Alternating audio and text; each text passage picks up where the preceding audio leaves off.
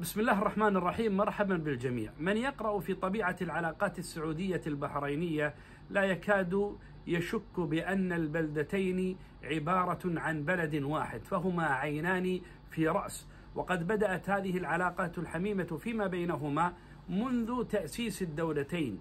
فالعلاقة بين آل سعود وآل خليفة علاقة حميمة جدا والأمثلة عليها كبيرة. ويكفي أن نعرف أن الإمام سعود بن فيصل بن تركي أهدى سيف جده الأجرب للشيخ عيسى بن آل خليفة رحمه الله تعالى. السيف الأجرب الذي يقول فيه الإمام تركي يخاطب ابن عمه مشاري سريا قلم مكتب على ما تورع أزكى سلام لابن عمي مشاري. شيخ على درب الشجاعة انضره من لعبة يوم الملاقة ضواري. يوم كل من خوية تبرع. حطيت الأجرب لعميل مباري. نعم الرفيق الياس ثم جرة يودع مناعير النشامة حباري. وقد زار الإمام سعود بن فيصل بن تركي البحرين واستقر فيها زمنا وتوطدت علاقته بالحاكم الشيخ عيسى بن علي الخليفة رحمه الله تعالى.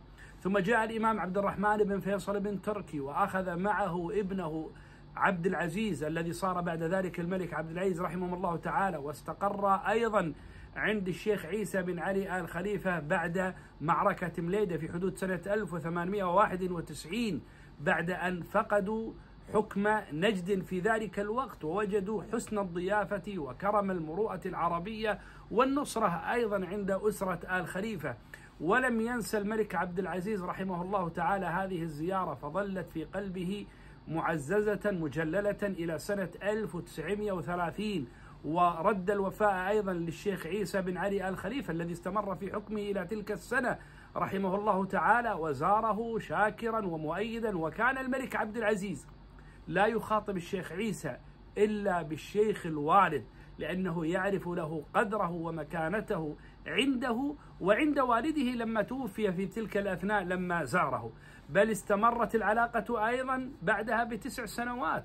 في سنة 1939 زار الملك عبد العزيز رحمه الله تعالى أيضا الشيخ حمد بن عيسى آل خليفة رحمه الله. وكانت في الزيارة الأولى في سنة 1930 أرسل الملك عبد العزيز رسالتين رسالة للشيخ عيسى ورسالة للمعتمد البريطاني الذي أخفى زيارة الملك عبد العزيز ورغبته في زيارة البحرين كأنه لا يريده أن يزور الشيخ عيسى. وقد تضايق الشيخ عيسى لما رأى أن مركب الملك عبد العزيز رحمه الله قريب من البحرين ولم يدخل البحرين فخرج الشيخ عيسى مع أبنائه وإخوته واستقبلوا الملك عبد العزيز رحمه الله تعالى. على البحر وثم جاء الملك عبد العزيز وزاره أيضا بعد تسع سنوات أو زار الشيخ حمد بن عيسى. واستقبلهما أيضا الملك عبد العزيز رحمه الله تعالى بعد ذلك لما جاء الشيخ حمد بن عيسى حاجا ومر الرياض واستقبله الملك عبد العزيز وأحسن كرمه وضيافته فيه. الملك سعود رحمه الله زار البحرين قبل أن يصير ملكا في حياة والده في أوائل في أواخر الثلاثينات الميلادية. وزار البحرين مرارا وتتوطدت العلاقة بينهما كثيرا وكذلك لا يوجد اليوم ملك من ملوك المملكة العربية السعودية ولا شيخ أو ملك من ملوك البحرين وشيوخها وأمرائها إلا وزار البحرين أو زار السعودية. وهذا يدل على عمق العلاقة الكبيرة بينهما. لو جئتم إلى النواحي الاجتماعية.